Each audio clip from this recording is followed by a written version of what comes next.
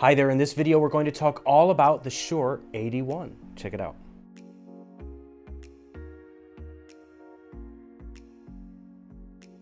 So Ross, I think the first thing that I want to start out with is saying that, you know, this is the AD1, but there's also a very similar looking transmitter, the ADX1, and just to make sure uh, we know the differences about them before we continue. Yeah, in classic Shure fashion, uh, one character in the part number can, can mean a very big difference. So, right? Um, yes, these are both Axient digital transmitters, meaning they both can sync to any Axient digital receiver.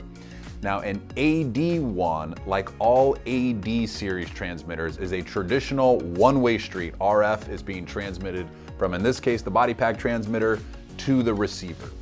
All ADX transmitters are what we call ShowLink enabled, meaning they can receive a 2.4 transmission back to the transmitter over the ShowLink access point, the AD610. In this way, I can have remote control of all settings on an ADX transmitter from a remote location.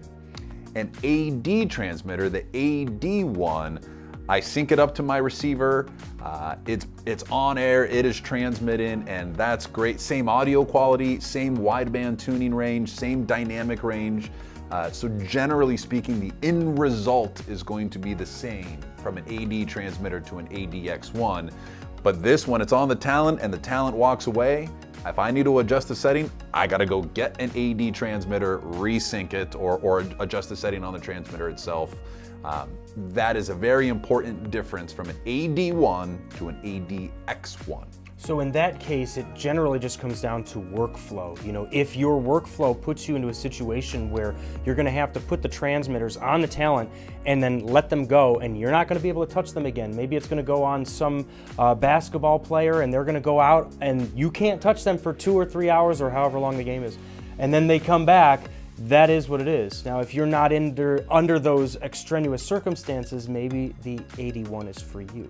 Absolutely. So uh, one other little distinction is the ADX series of transmitters will all come with their own Shure lithium ion rechargeable battery. That is the battery you must use with your ADX transmitter.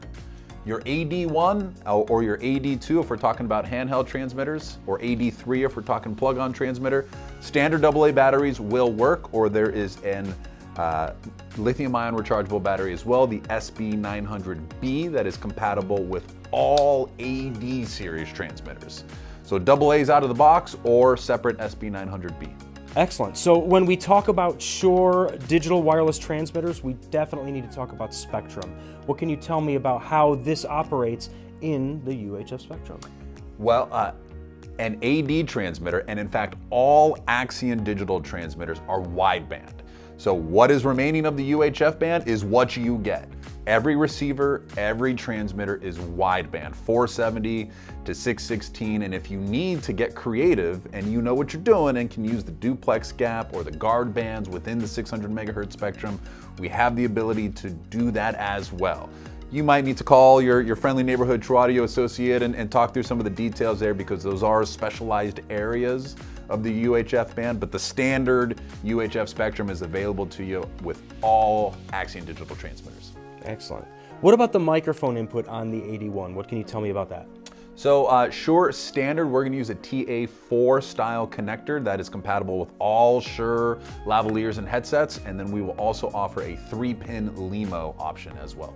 Now, I know that we just talked about the battery requirements for this, but one thing I'm noticing is the battery terminals that are on the back. Tell me a little bit more about that. Yep, so you've got a couple of different options for charging. If you have gone with the, with the rechargeable battery option, you can either take the battery out and there's a couple of different uh, like desktop style chargers like an SBC 800 for eight batteries by themselves, or there's a rack mount option, an SBRC Shure battery rack mount charger.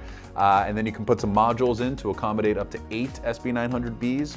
Or if you prefer, you can get an SBC200 and dock the transmitter itself with the battery in. That automatically RF mutes the output so you're no longer transmitting and you will charge. And then once you pull the transmitter off, if it's left powered on, it's on and ready to use again. Excellent. another incredible transmitter in the Shure Axient digital wireless lineup. Can you tell us a little bit more about the entire ecosystem? Sure. So we've got under Axient Digital, we have three different receiver options the AD4D dual channel rack mount receiver, AD4Q four channel rack mount, ADX5D dual channel portable ShowLink enabled receiver. And then we have the AD610, which we showed a second ago. That is the dedicated ShowLink access point for controlling your ADX transmitters. We've got the AD1, 2, and 3 body pack, handheld, and plug-on transmitter. And then we've got the ADX1, ADX1M micro, and ADX2 handheld style transmitter in the ADX family. Incredible. So Shure has a, a, variety of digital transmission wireless systems like the AD1 here, and then also all of the X versions that allow you to uh, uh allow it to be controlled via the ShowLink. Yes. Incredible. Well, if you guys are interested in the AD1 or any of the Shure Axient digital wireless lineup, take a look at our products at trewaudio.com.